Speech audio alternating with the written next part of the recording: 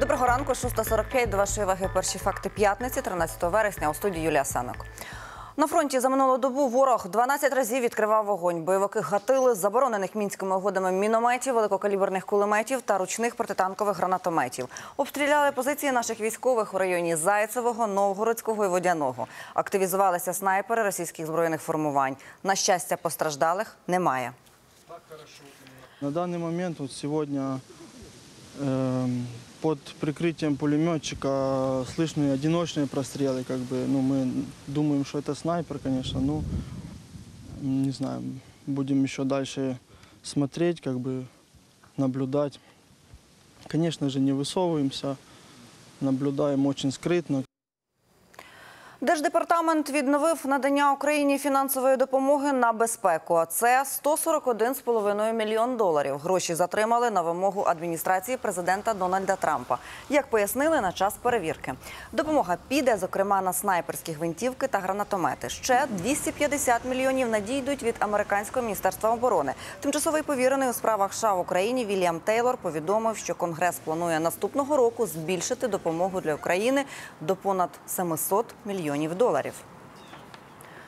Чотири сотні відомих на увесь світ політиків, громадських діячів, митців та науковців зібралися в столиці. Напередодні в Києві відкрилася 16-та зустріч Ялтинської європейської стратегії. Це один із найбільших майданчиків, де обговорюють виклики майбутнього і ситуацію у світі. Уже п'ять років, як потужне зібрання лідерів думок переїхало з Кримської Ялти до столиці. Цьогоріч зустріч присвятили пошуку щастя. Організатори Ялтинської європейської стратегії, форум ЄС у партнерстві з фондом Віктора Пінчука провели серйозне міжнародне дослідження щастя та політичних вподобань. Опитували людей у 15 країнах на шести континентах. Усі цікавляться, чому така тема зустрічі ЄС щастя. Ми не будемо говорити про щастя як про поняття особистісне. Ми зачепимо це питання у період світової кризи, як людей зробити щасливими, коли навколо все складно. Але головна радість це те, що ми зібралися разом. Ми знову влаштовуємо дискусії, говоримо про розвиток, плануємо і поширюємо світову дружбу з Україною.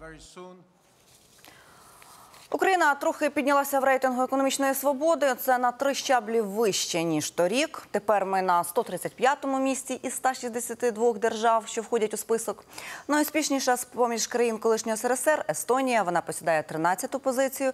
Перші два місця рейтингу традиційно займають Гонконг і Сінгапур. У лідерах також Нова Зеландія, Швейцарія, США, Ірландія, Великобританія, Канада, Австралія. Найгірша ситуація з економічною свободою в Венесуелі, Іраку та Лівії.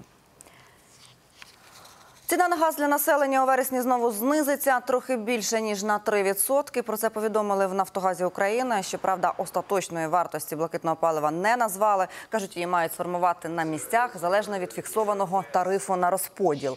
Однак, уже з початком опалювального сезону тариф може знову зрости. Попередили у держкомпанії, адже попит на газ збільшиться, а значить, ймовірно, зростуть і ціни на європейському ринку. У Нафтогазі також нагадали до 25 вересня, ще можна скористатися пропозицією газовий запас і купити паливо наперед за фіксованими літніми тарифами. Вищий антикорупційний суд заочно арештував скандального голову Вищого господарського суду часів Януковича Віктора Татькова. Слідство підозрює екс-суддю у хабарництві та відмиванні грошей, ухваленні неправосудних рішень, втручанні в діяльність судових органів та у роботу автоматизованої системи документообігу суду. За даними правоохоронців, Татьков перебуває в Австрії. Українські силовики просили австрійських колег видати суддю, але для екстрадиції потрібно було рішення про заочний арешт. Екс-суддя перебуває у розшуку з грудня 2016 року. Осіння спека на останок. Сьогодні буде сонячно та без опадів по всій Україні. Найтепліше на півдні та сході до плюс 28, найпрохолодніше у Львові 22-24 градуси тепла, на Закарпатті до 27, у центрі та на півночі 25-27 з плюсом. У столиці очікують до плюс 27, а вже від завтра синоптики обіцяють дощі та зниження температури.